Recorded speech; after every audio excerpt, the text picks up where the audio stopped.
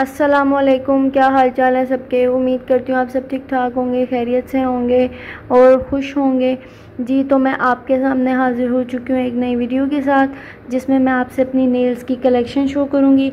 सबसे पहले तो मैं अपना जो ड्रेसिंग था वो ऑर्गेनाइज़ करने वाली थी।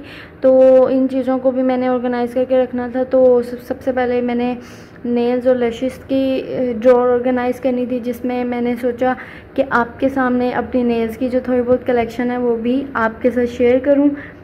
क्योंकि जी, ज़ाहरी बात है, जो लड़की, मैं अपनी बात कर रही हूँ नेल बाइटर होगी, वो आर्टिफिशियल नेल्स ही अपने पास रखेगी ना, फिर उसको वही पसंद आएँगे ना, क्योंकि अपने तो वो छोड़ती नहीं और कहीं आना जाना हो, ऐसे तो जाया नहीं जाता। मेरे पास नेल्स की कलेक्शन है तो कहीं आना जाना हो, जो मेरे ड्रेस के साथ मैच करते हैं, वो फिर मैं उनको निकालती हूँ, फटाफट लगा लेती हूँ। हाँ जी तो सबसे पहले मेरे पास ये नेचुरल नेल्स हैं। ये मुझे बहुत ज़्यादा पसंद है, क्योंकि ये बिल्कुल नेचुरल इफ़ेक्ट देते हैं। ये अभी तक मैंने इनको यूज़ नहीं किया। फिर उसके बाद एक ये है ये मैं यूज़ कर चुकी हूँ। तो आप देख ही रहे होंगे, बीच में से कुछ खाली हैं, क्योंकि वो ज़ाहरी बात है, जब आप ग्लू लगा के इन्हें यूज़ करोगे तो फिर उतारते हुए ये टूटेंगे ही। तो बिल्कुल इनके साथ भी कुछ ऐसा ही हुआ। ठीक है? और ये भी बिल्कुल भी मैंने राउंड शेप में, ये बिल्कुल भी अभी तक मैंने यूज़ नहीं किया। तो वीडियो में आप मेरे अपने नाखून भी देख रहे होंगे। खैर तो उसके बाद ये मेरे पास ब्लैक कलर में आए ये मुझे इतने पसंद आए थे, इतने पसंद, ये मैंने डॉलर शॉप से ख़रीदे थे। ये मुझे बहुत पसंद आए थे। इनको भी मैंने यूज़ किया तो फिर उसके बाद उतारते हुए ये भी टूट गए। फिर उसके बाद ये पर्पल कलर में नेल्स है मेरे पास। ये भी अभी तक मैंने यूज़ नहीं किया बिल्कुल भी। ये मेरे पास एक रेड कलर में है मैट रेड जो शेड होता है ना, ये आई गेस रूबी शेड है। जी। तो एक मेरे पास ये पैकेट है, इसको मैंने यूज़ किया था, ये मैंने अपनी बारात पे लगाए थे। एक जी ये पैक है। जो कि मेरे पास है सैंड कलर में। ये भी मैं एक दो दफ़ा यूज़ कर चुकी हूँ, लेकिन इतना मुझे ये शेड पसंद है तो मैंने इनको बहुत एहतियात से उतारा था। एक ये ये मेरे पास है आर्मन ग्लोसी ये मैंने अपनी मेहंदी पे यूज़ किए थे तो इनकी डिब्बी पे जो निशान है ना, वो मेहंदी के निशान है दरअसल।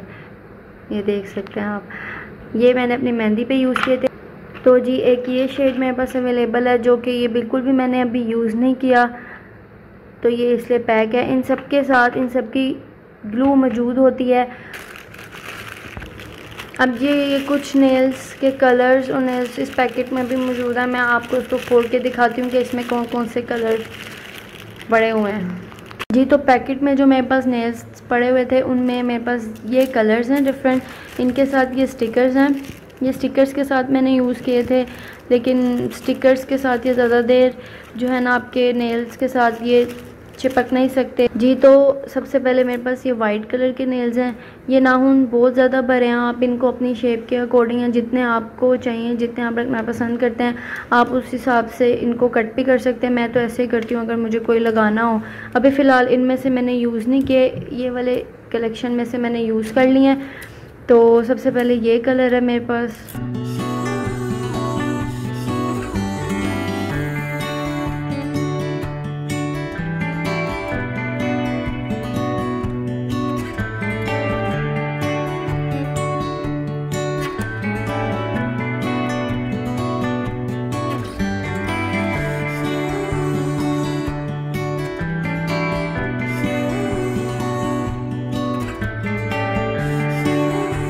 जी तो ये मेरे पास नेल्स की कलेक्शन है।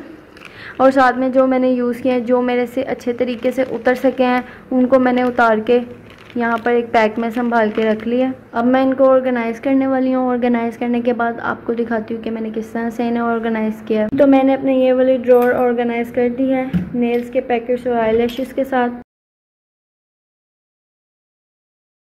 यहाँ पर कॉर्नर पे, इस कॉर्नर पे मैंने सारे आईलेट सेट कर दिए हैं और यहाँ पर सारे नेल सेट कर लिए हैं।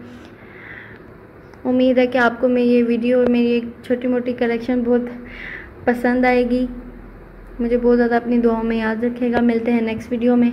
अल्लाह हाफिज़।